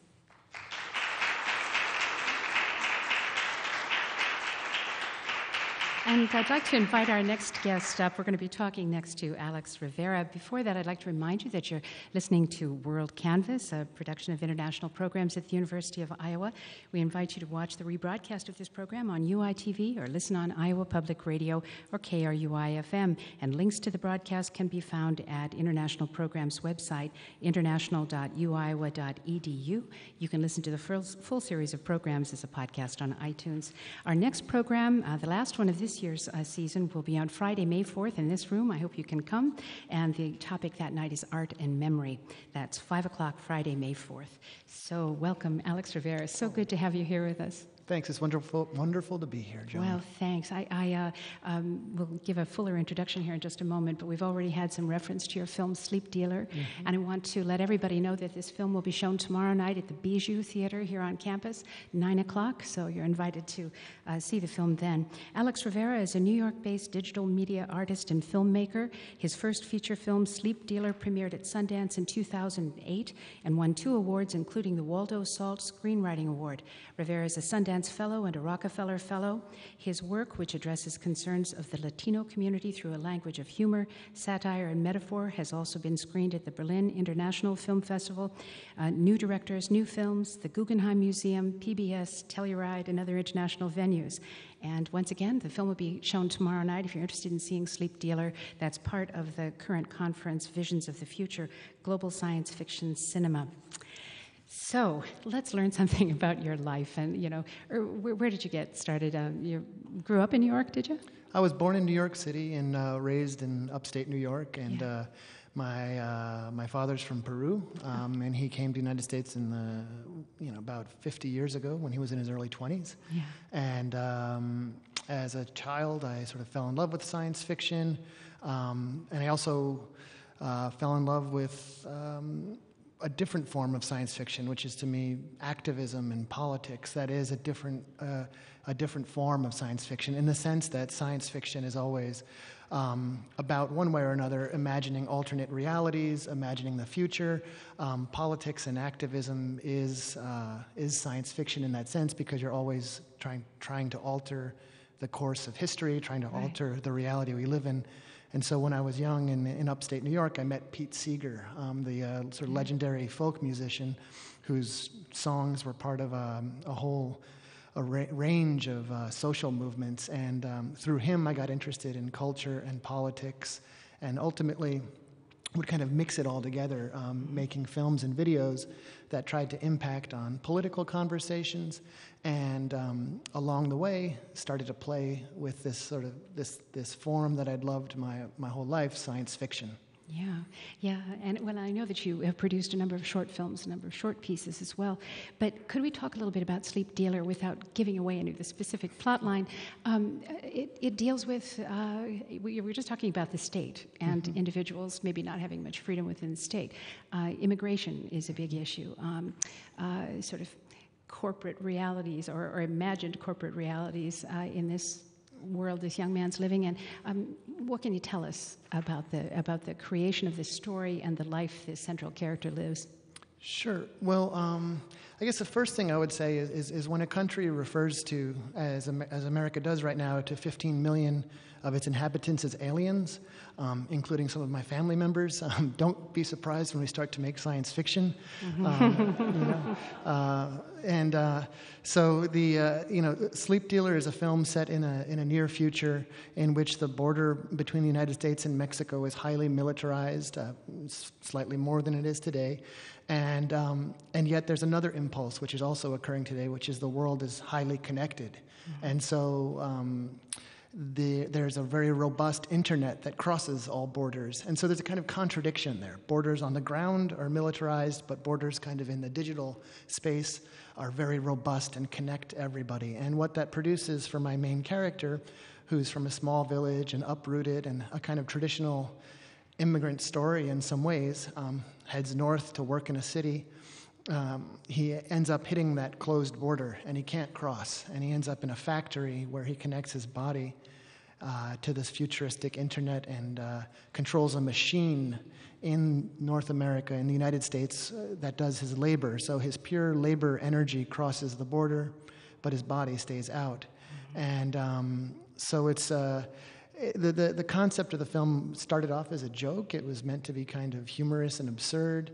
Um, over the years, it's sort of slowly started to occur in our, our lived reality, or it gets closer and closer to occurring in our lived reality. Mm-hmm. And so I, I, think the film resonates on a few levels. I hope it's fun, um, and uh, it's got some. Um, you know, explosions and robots and uh, partial nudity and, uh, you know, the, the, the, pleasures of, of the cinema. But then it's also yeah. got, um, you know, it also has uh, reflections on um, what it means to be um, kind of alienated mm-hmm. and uh, distanced from the, uh, the, the, what we produce, mm-hmm. which is, I think, a, a very human um, experience in the 21st century. Yeah. Well, there's, there's a, a, line that just was incredibly um, striking to me as I watched this film, and it was when the young man's being led into this uh, um, new job he's going to have, and uh, the guy showing him around says, Yeah, as usual, uh, in the US, they want the work, but they don't want the workers. Something along that line. Right. Uh, yeah, that's mm-hmm. that's right. Yeah, so that's that's the boss of the factory, sort of explaining the the, the dynamic um, that the system uh, is part of, and it's the the work without the workers. And uh, it's a sort of simple way of putting to me um, the posture um, that the United States has always kept a kind of. To me, I think we need to call it what it is. It's a caste of people, and in the, in this country right now, for example, the people that produce the most intimate product, uh, food that we eat, for example. You know, uh, the, that is a, a, group of people whose work is almost in, unimaginably difficult, and yet who are legally excluded, literally excluded from minimum wage, excluded from protections. And so there's this, and, and that's not a new phenomenon in this country. It's a sort of phenomenon that's been a, a a continuation or a continuity through the centuries. You know, it's taken different shapes and different forms, but there's always been a group of people who've done the kind of hardest work in the society, and yet for one reason or another, are kind of locked out legally from fully participating in the fruits of the society. And um, so there's this idea of somehow we need the work, but wish there weren't workers. Mm-hmm. You know, we'd love to extract that energy that labor is from the body, but don't want to care for it, don't want to, uh, don't want to give it health care, don't want to uh, let it go to school. Mm-hmm. And that, that sort of tearing feeling of like pulling and pushing at the same time, mm-hmm. um, that's a bit what the film tries to visualize. Uh, again, in, in, a playful and fun way. It's not, yeah. it's, it's, it's not dour Marxism. Mm. it's, it's fun Marxism. well, and, and uh, we talked earlier about uh, things like the degradation of the environment. Now, this has been a concern for many, many years, science fiction writers, and, and that's one of the issues uh, related to this young man's home and, and uh, also his growth as, as an individual, not really realizing maybe what home was all about when he had it. Sure. Well, you're referring to um, you know the first act of the film, and, and when we set up um, the main character, his, his name is Memo, and when we when we set up his uh, village, there's a dam there, and there's a river that's run by his village traditionally and allowed for kind of subsistence agriculture type of um, living and sustainability, and that's been interrupted by the very um, you know very visual imposition of a dam and, um, and that dam is installed by a corporation which is trying to privatize the, the water flow. And again, this isn't science fiction. This is that that part is a uh, a period piece, or it's, a, it's, it's history, really, because that's obviously been happening um, around the United States and around the world. That companies like, like Nestle or in, in, uh, in South America, Bechtel, in Bolivia, have been actively trying to um, you know, turn water, um, which is what we're made of, you know, mm-hmm. 90% of our bodies or whatever the number is, mm-hmm. but uh, turn it into a, a commodity. And so that's kind of the backdrop for my characters leaving his village and heading north, and is a reference to these kind of circles that I see, um, in the sense that a lot of immigrants, when they come here, um, they get wrapped up in a whole political discussion, right? That's happening. It's very sort of vicious and vibrant and, and, and powerful in this in the U.S. right now, and it often makes the immigrant seem like they're making decisions on their own. Like they just mm-hmm. woke up and decided, I want to go to America to make my life it's to make my life better. That's how we frame it. But we never put it in the context of the fact that the US as an entity has been a migrant, meaning that the U.S. has had uh, corporations, whether it's the United Fruit Company or a whole panoply of mine operations or oil companies or any kind of thing in Latin America for centuries. Uh, we've had our Marines in all kinds of countries in Latin America for centuries. And so we, as a nation, have migrated south and often created the kind of backdrop for individuals to take the decision to come here. And so immigrants are part of a long historical uh, continuum. And in my film, again, which is fun to watch, um, it's, uh, it is. it's, uh, it, that, that dynamic is embodied by this dam and this kind of uh, corporate influence being present in his village. And so mm-hmm. there's a mm-hmm. kind of shadow of, um, of, of, of, of, of, the U.S. in his village before he leaves and heads north. And so mm-hmm. he's part of this uh, back and back and forth, which immigration it's, it's really urgent that we start to understand migration from Latin America, Latin America to the U.S. as part of a, a continuum and, and a back and forth mm-hmm. between between us and them. Yeah. Well, and you've done a really nice job building sort of, I, I think, very well fleshed out characters. You see real human mm. sides to these people who are, you know, they have mm. many dimensions. Uh, the, the, young woman in the story, uh, the fellow who was part of the police force. Um, is there anything you can say about that without giving away too much? Sure. Um, uh, you know, um, I would say as a, as a, filmmaker and a writer, um, I'm much more comfortable talking about kind of intellectual issues. I know um, in the, in, with some of the previous guests there was uh, a discussion about how science fiction is is uh, about the setting often and about speculating on worlds. And you know, I, I, when I entered into it, I, that's what I that was my primary impulse was to try to think about where the world is headed and some of these contradictions I've been um, trying to detail. And then at a certain point, you say, I can't really make a feature film just with a setting. I need, you know, as much as I would like to. You need, uh, you know, you need characters. And so, you know, the writing process took about seven years, and mm-hmm. a lot of that was coming up with the characters, um, relationships between them altering, um, and trying to design the, the plot and, and that it come from um, personal and, and motivations. And that is the balance, and it's often a tough thing in science fiction because when you imagine an alternate reality, you're, you're doing that because you, you want to say something about the system we live in. Mm-hmm. You know, you're not imagining a, a, a, future world to then tell a story about a, a, kid doing a high school play that goes bad. You know, mm-hmm. you, you know, mm-hmm. yeah, you, right. you're, you're, when you imagine a future world, it's because that's the thing you want to uh, say yeah. something about. Yeah. And then you need to, but but but like, but that journey needs to be lived by an individual. Mm-hmm. And there's always a bit of a disjunction there where. Uh, you, you feel in science fiction creations, books and film, that there's a pull because the author wants to explore our society, but it needs to be done through individuals. And mm-hmm. so for me, that was the, the tension. I borrowed a lot of um, facts and kind of textures from my, my dad's life, from people who I'd met making documentary mm-hmm. films, and tried to weave that into um, the characters' voices. Mm-hmm. Yeah. What are you working on now? Um, let's see, I'm working on two projects. Um, one is I'm uh, working on a, a basically a, what they call a Bible, which is kind of interesting. It's not a Quran or uh, something, anything else, but a Bible for a television series. Um, and uh, it's a science fiction um, concept which has to do with uh, the future of the camera. I've been interested in the kind of physicality of the camera and the idea that at one point in time there was only one camera on the planet, right? Yeah. Like when it was invented and it was a fairly large machine, and how since then the camera's been shrinking and multiplying, and now there's you know billions of cameras and they're tiny and uh, i remember as a kid you used to have to wait like a week to Yeah, see the right, images right.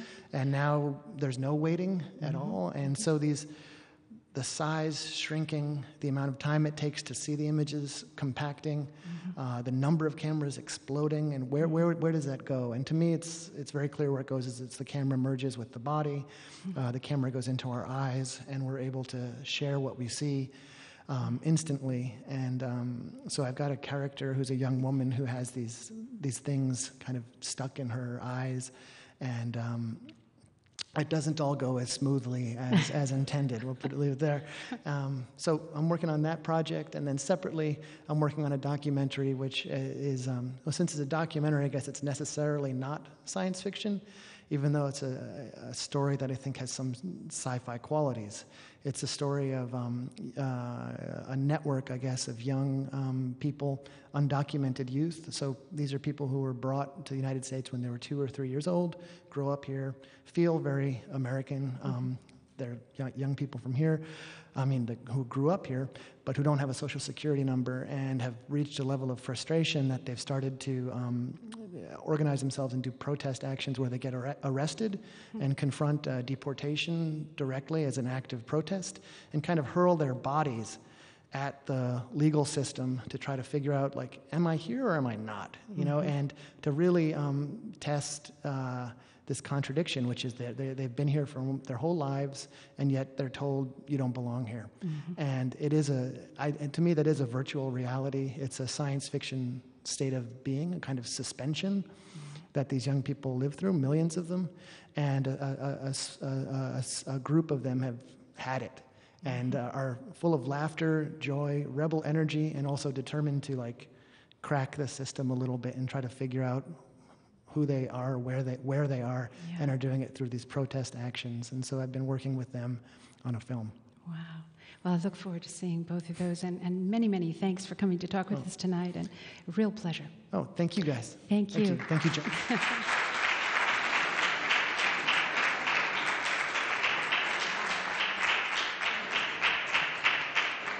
So, once again, Alex Rivera's film will be shown tomorrow night at the Bijou Theater here on the university campus, 9 o'clock. And I'd like to invite our last uh, group of guests up now. That will include Nathaniel Isaacson. Uh, Istvan will be back up here with us, also Sharalyn, uh, Rachel Haywood Ferreira, and Sami Khan. So, please join us here. In this part of the program, we're going to delve a little more deeply into science fiction as a global genre. You've already met Sharalyn and uh, Istvan, and joining them now are on the far end Rachel Haywood Ferreira, and then next to her is Nathaniel Isaacson, Isaacson, excuse me, and Sami Khan is here as well. So, thanks for joining us. Uh, Rachel Haywood Ferreira teaches Spanish in the Department of World Languages and Cultures at Iowa State University, and she's written on the emergence of Latin American science fiction. Is particularly interested in the roots of the genre in Latin America and in the North, and she's currently working on the science fiction of the space race era in Latin America, as seen in genre magazines and comics as well as anthologies. Thanks for being with us, Rachel.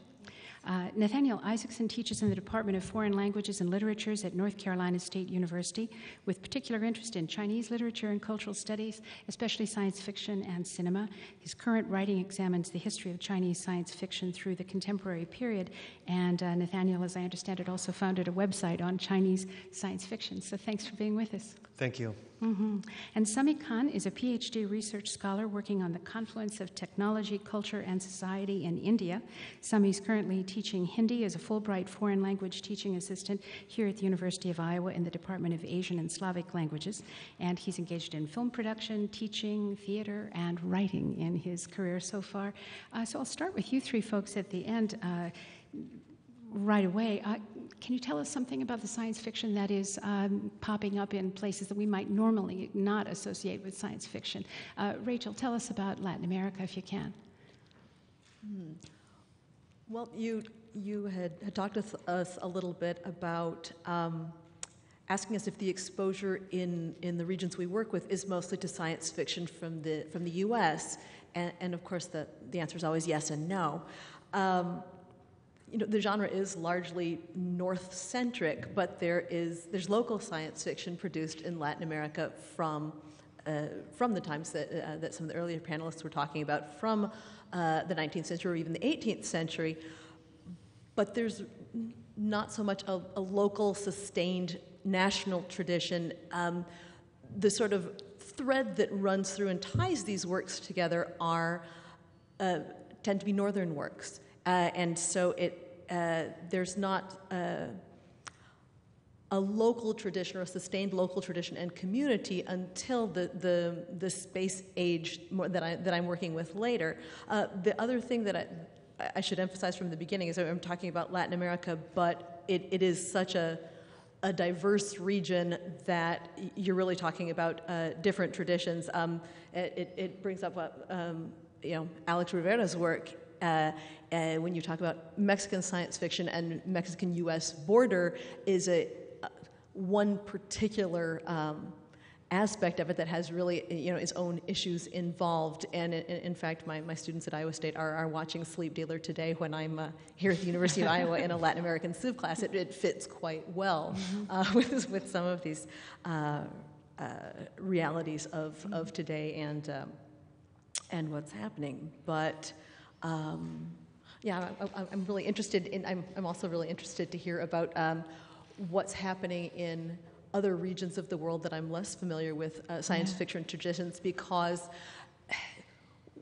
the issues of influence versus originality are always very central to some of these texts, especially maybe in Latin America, where Latin America is a part of the Western tradition, but um, Roberto Gonzalez Echevarria says, you know, Latin America is at some level always also inside. It's not outside. It's not the other.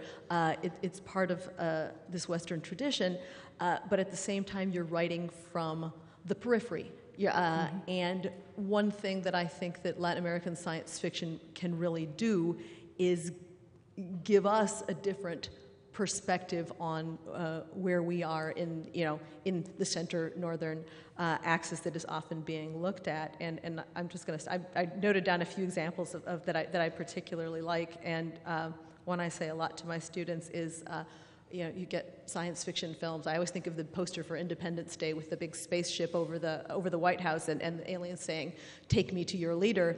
And it's, it's, it's never the president of Argentina or Bolivia or Uruguay. Um, so, uh, yeah. Well, thanks, Rachel. Uh, let me move to you, Nathan, uh, Nathaniel. Maybe you can tell us, uh, you know, give us a picture of what's happening in China.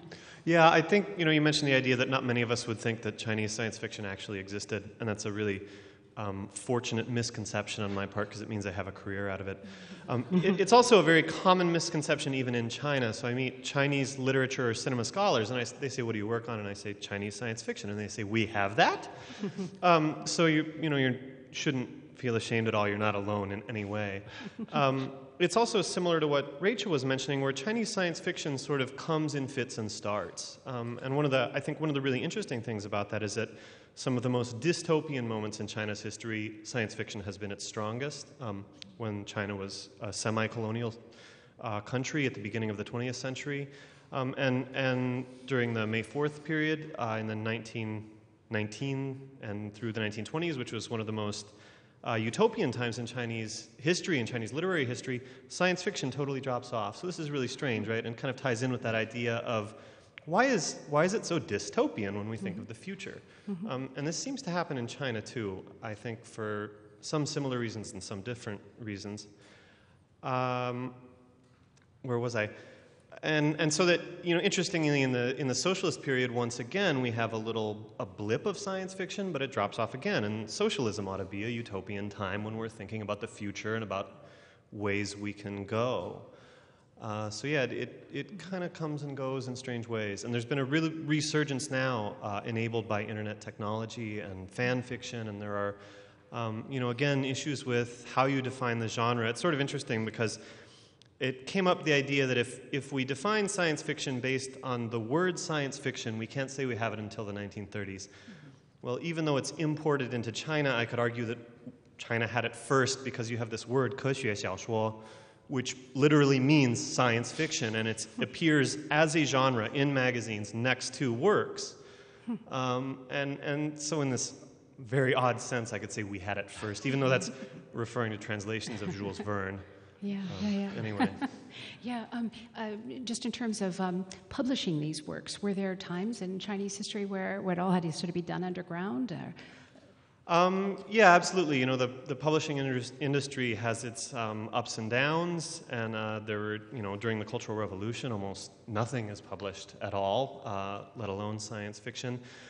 The other interesting thing you have, and I'm, I'm sure this goes on in other areas, I'm just much more familiar with China, is, and you know, it, it speaks again to what do we call science fiction. You have a lot of sort of subgenres. So there's this other genre called the 科学小品, which is kind of a science essay, and it's a it's a story and it's about science, but it's usually too mundane and not really fun enough to call it science fiction, right? It's just sort of popular science writing. And you have a lot of children's writing as well, and, and these things all sort of trade off with one another. Uh, just recently, the Chinese government uh, banned television shows about time travel. Really? Um, and, and the rhetoric behind this was that this was sort of dangerous to be so focused um, on things that weren't, you know, concrete realities. Uh, but the rumor I've heard is actually that all of these shows were produced by uh, provincial television stations. And so the, the central government television stations weren't making enough money off of ad revenue. And that the ban really has more to do with, with wanting to get their hands on that ad revenue than it does on any sort of ideological notion of whether or not time travel is, uh, you know, spiritually polluting. and uh, I- I had heard that um, there's science fiction is quite popular among the youth in China now, but um, maybe not so many older people are are involved in an interest in science fiction. Is that true? Um, yeah, I'd, I'd say that's probably so, and I think we generally conceive of science fiction as sort of a, a more youth oriented genre, right? Uh, I'm also unfortunately kind of disconnected from it because, like I said, I, I had really meant to study the entire 20th century, and I never got a whole lot past 1905. Um, so, you know, what I am aware of, it's, it's, um, it's often still thought of as a kid's genre, and I'm usually the oldest person in that part of the bookstore um, when I go look for, uh, you know, new stuff that I could do Yeah, research on. Great. Well, thanks. Well, uh, Sami, let's let's turn to you. I know that you've been interested in science fiction really all your life, and you've been here in, in the states and at the University of Iowa for this last year. But um, give us a picture of science fiction in, in India and Bollywood, if you will. Uh, well, the good thing is that since people even here can't really agree on a definition of science fiction, we Indian can you know produce any sorts of movies and say this is science fiction. So, but you know, if we really you know take the actual you know concrete definition of science fiction and just take any one definition and say that okay, this is the most accepted definition of science fiction, and now let's see which Bollywood movies fit in this particular definition then we do have lots of movies. Well, it's not lots, it's you know just six or seven, but the, the difference is that in India, science fiction always incorporates a certain degree of spirituality. So, if you talk about movies which have a certain degree of spirituality, which talk of dystopias and utopias, which talk of the past, you know, the arcade, the beginnings, then, you know, uh, we have had a tradition of science fiction. But the argument which is given is that we as a nation did not have a science fiction tradition till the British arrived. What we had was a speculative fiction tradition, which was based more on mythology and fantasy, which was the other strain of speculative fiction. But in the recent times, with globalization, with the rise of middle class, fantasy and mythology movies are also being made by Bollywood. But what is also happening is a simultaneous rise in hardcore science fiction, or as science fiction as the West knows it. So, and, and they are not just remakes of Hollywood. What they do is there is uh, an extremely high degree and, and, and you know, a, a very clever sort of you know, appropriation where scripts may be taken, but science always complements religion in, in, in Bollywood science fiction movies. Bollywood, in, in those movies, science and religion never you know, fight. They always unite to portray a perspective which is distinctively Indian. Does that mean that they have more of a utopian nature rather than a dystopian nature? Uh, well, yes, that's true, but the, but the reason for that is because of the material realities. That because of the current, you know, uh, scientific revolutions, we haven't yet felt the negative aspects of scientificity. Mm. We, we, we, have, you know, you know, till now we are basking in the glory of the positive aspects. So till now the effects haven't, you know, hit us. So we are waiting for that and I hope that you know that's delayed as much as possible. huh. So there's one other thing I know about you. Um, even when you were interviewed to be a Fulbright scholar here at our university by Philip Lutgendorf, one of our professors, you uh, told him, apparently, in, in quite um, excited terms, that you would be pleased to come to the University of Iowa because it's so close to the future birthplace of Captain Kirk, Riverside, Iowa. Yeah. So tell us about yeah, that. Yeah, absolutely. So when you know my friends, my, my, my Fulbright friends were happy, you know, and, and they were applying to Yale and, Yale and Princeton, and, and I was like, no, I'll be happy with Iowa. And they were like, why? Because Iowa is near Riverside. And they were like, what's Riverside? what's Riverside? And I said, and you know, because uh, science fiction isn't that popular a field back home, and but geeks and nerds do exist back home too. So, so, so for me, that was the birthplace of James T. Kirk, and I'm a big, big, big fan of Star Trek, and I'm, you know that was one of the reasons I came here. So, I understand you're something of a regional celebrity when you go down to to the Riverside area. A yeah, lot of people, I, you know. Yeah. Uh, you know, incidentally, uh, the family which runs the Voyage Home Museum there is my host family. That's great. So I spend lots of time there in the museum and, you know, activities about Jim Kirk and, you know, Star Trek. So I'm happy as hell. That's fantastic.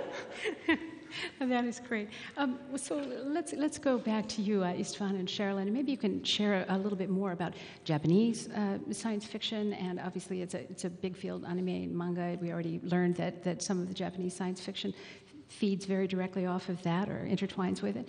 Um, and Hungarian science fiction, I guess, is something you're familiar with. Am I correct? Well, let's start with Japanese. We'll start with Japanese. Okay. yeah. Okay. Um, well, as I, I, was saying a little bit earlier, Japanese science fiction starts in the late 19th century. Just about the time that it's really getting going in North America and Europe. Uh, the novels of Jules Verne were translated to Japanese just a couple of years after they were written, which is kind of amazing because Japan had just opened to the outside world in 1867 uh, after 200 years of complete isolation. But suddenly everything is flowing in science, technology, knowledge of all kinds, and, and this is a good thing.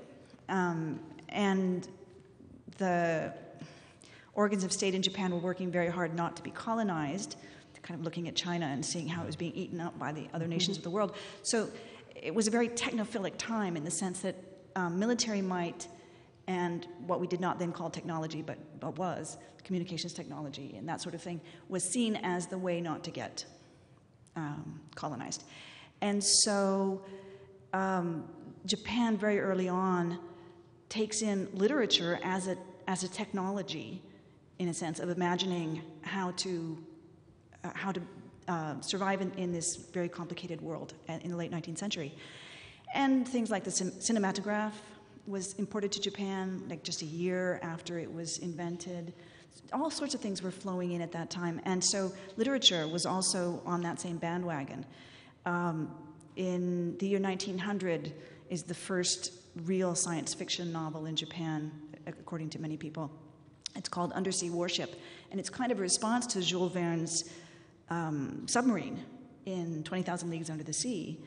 And it's Japan's even better and bigger and more technologically exciting version of, of that uh, submarine. But it's also about how Japan is going to be one of the uh, advanced nations of the world.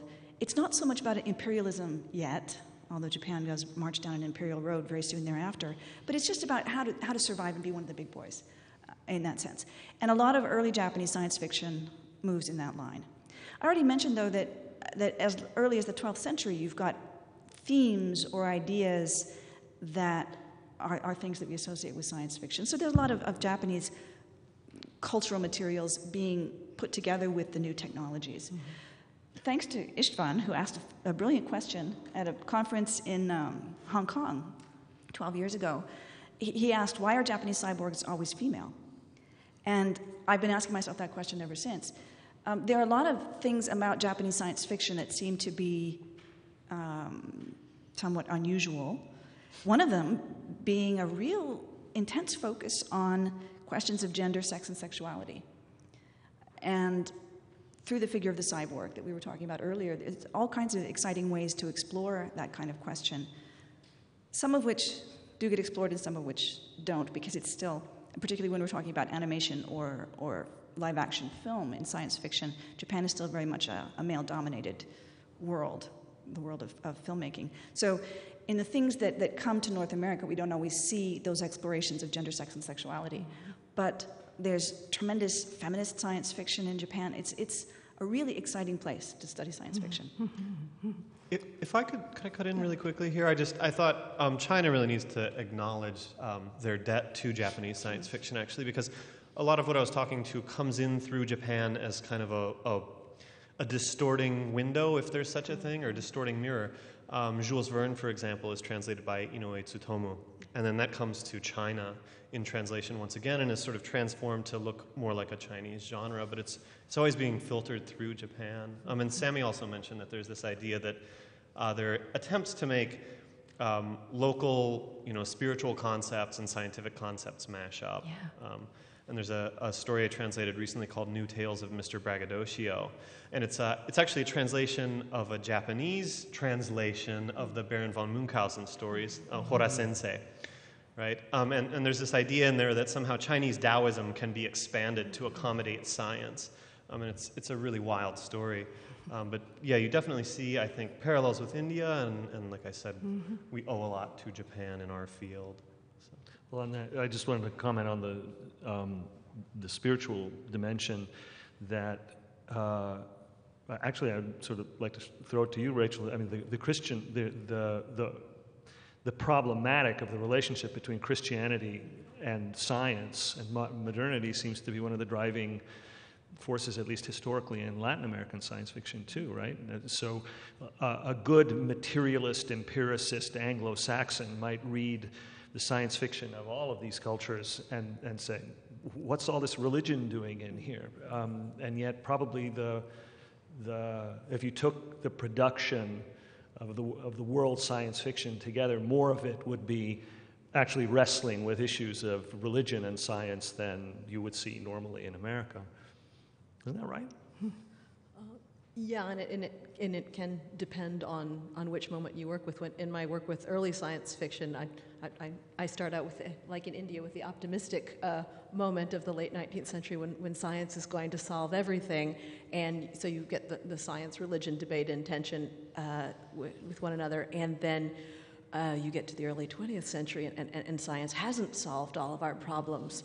Uh, and so then, then uh, that seesawing religion sort of moves more to the fore, uh, but also alternative sciences, alternative mm-hmm. religions, people making their own pastiches of, of solutions uh, as, as, people do.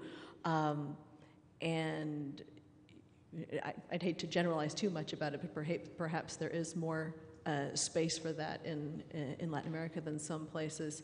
Um, I'd also say, also thinking about northern influences in Latin America. We tend to talk north south uh, in, in what I do. Um, when, when I say north, I mean um, not Spain and Portugal.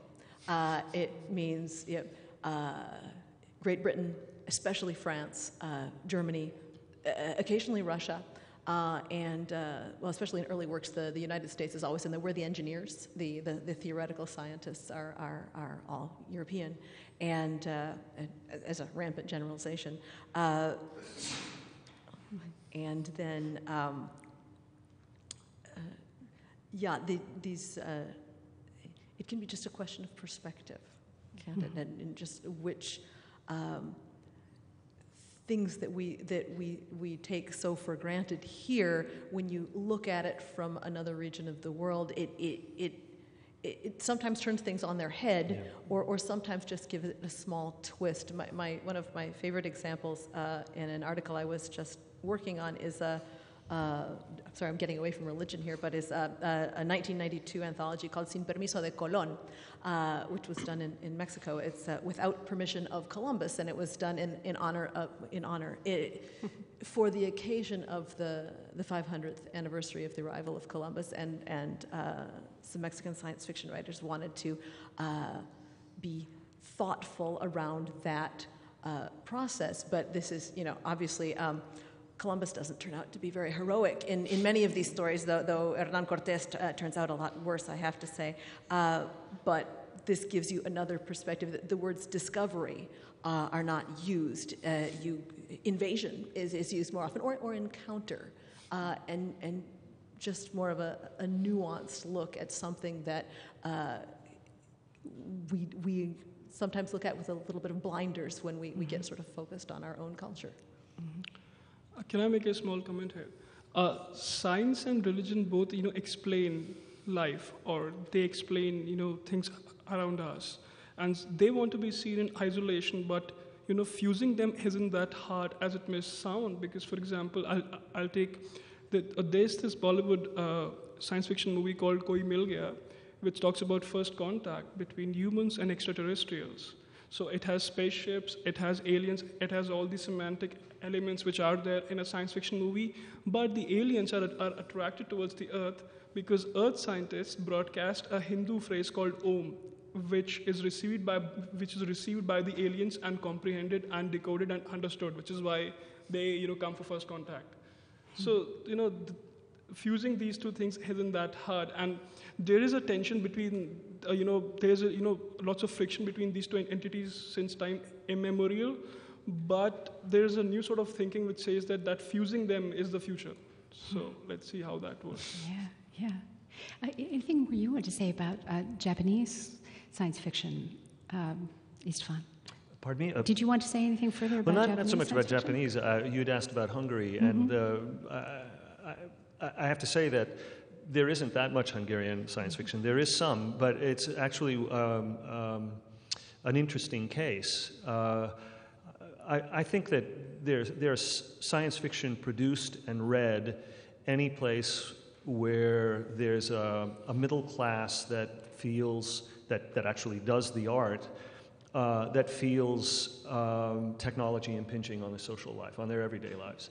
So that covers any modernizing society, but that doesn't mean that all, all cultures, well, maybe eventually it'll probably mean, because of globalization, all cultures.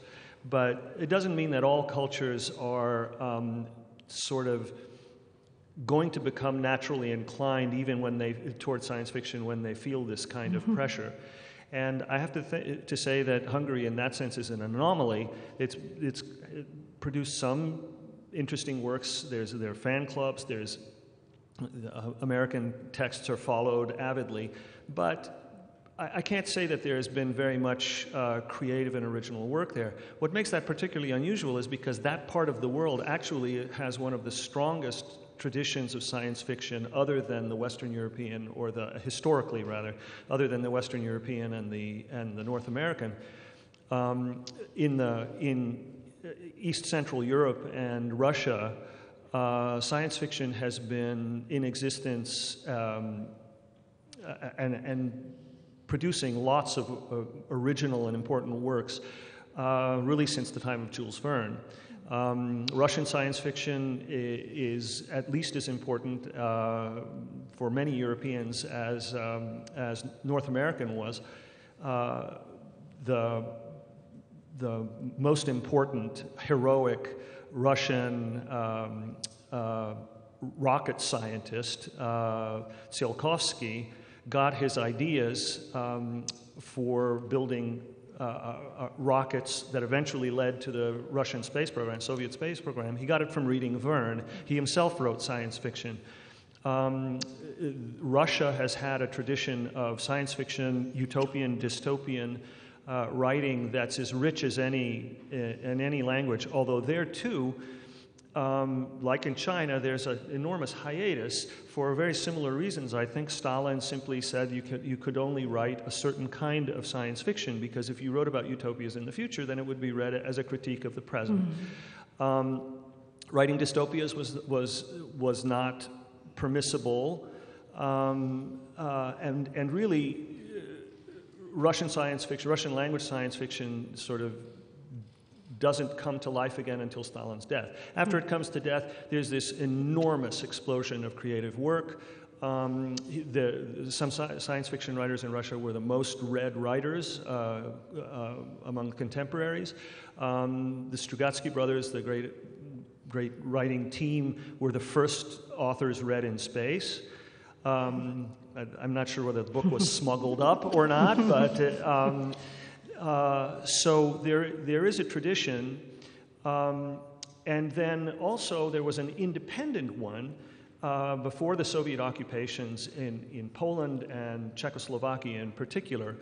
Čapek, the originator of the term robot, was a, was, uh, was a Czech, um, and that, that actually, that tradition continued even under Soviet occupation. Um, Polish science fiction is probably the, the flagship, the, high, the, sort of the highest achievement in that zone, produced Stanislav Lem, who was, um, I think, generally acknowledged to be one of the greatest science fiction writers of the last century. Um, so uh, there is a, a, sort of Central East European tradition of science fiction that's deep. It's political satire mixed with utopian vision, mixed with sort of responses to complex responses to sudden modernization in an area of the world was, which was one of the first peripheral, you know, yeah. what we would consider a peripheral zone that was drawn into the web of modernity. So why did the Hungarians? Um, why were they not inclined to that? That's a. Uh, I, I, don't. I have hypotheses, but um, uh, not every not every tradition is as um, is as open to or mm-hmm. feels the requirement to mm-hmm. to be science fictional mm-hmm. and. Uh, I thought it was kind of interesting that we would be talking about Hungary and Japan yeah. simultaneously because Japan, exactly the opposite happened. Mm-hmm. I mean, the, the, impression is that science fiction is actually the, the normal cultural atmosphere of contemporary Japan. Mm-hmm. Um, in Hungary, it would be exactly the opposite. Mm-hmm. Wow, this has been such an interesting program. I can't thank you all enough. I'm sorry to say our time has run out. Uh, Rachel Haywood Ferreira, thank you so much. Nathaniel Isaacson, Sami Khan, Istvan Csicsery-Ronay, and Sharalyn Orbaugh. Thank you so much. Thanks Please for having thank us. our guests. Thank you. Yes, you could stay there. So we have come to the end of our program. Uh, thank you, all of you who've come here to be with us this evening. A special thanks to UI faculty members Jennifer Feeley and Sarah Ann Wells, who are the co-directors of the UI conference Visions of the Future Global Science Fiction Cinema. Uh, thanks to them, we were able to get these great guests here with us tonight. Uh, WorldCanvass will be here in this room again on May 4th with the topic Art and Memory. I hope some of you can come. Uh, we want to say thank you to our partners UI TV, UI Pentacrest Museums, KRUI, and Information Technology Services. So I'm Joan Kjaer. Thanks to my colleagues at uh, uh, International Programs, and we'll see you here, I hope, next time. Thanks for coming tonight. Bye bye.